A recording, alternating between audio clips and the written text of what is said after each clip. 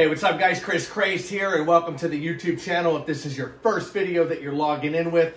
And today's video on our success series is part two of questions entrepreneurs ask prior to starting a new business, as you can see right here on the screen. So in part one, we talked about what are the motives for starting a business. If you didn't see that video, check back and watch that. Definitely some good information. Today's video, part two, is gonna be what current responsibilities are going to be displaced when you start your new business. So you have your life going, you have everything going on in your life.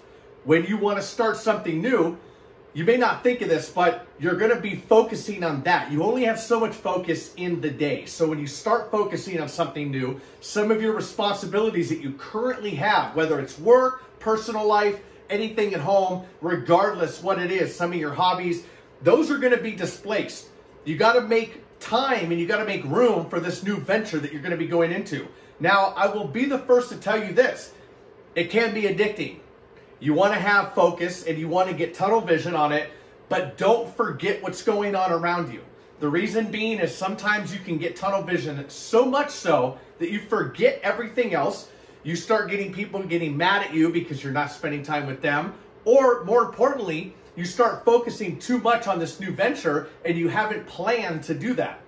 And that'll subsequently start affecting your current work life, probably travel, anything else around that. So these are things that you want to take into consideration when starting this new venture because as with any new venture, any new business, it's going to take time. A lot of these things are going to be front loaded up front you're going to have to learn new information. You're going to have to learn new systems. You're going to have to meet new people and learn new about new businesses that are going to help your business and more on that later. But all of this requires a learning curve. It requires more time, more money, and more commitment. Now, when you're committing to this, you're not going to be committing to something else. So if you have a ton of free time, and this may be self-explanatory, if you have a ton of free time, then this is going to be time that you can devote towards your new business. But if you don't, this is something that you need to plan accordingly.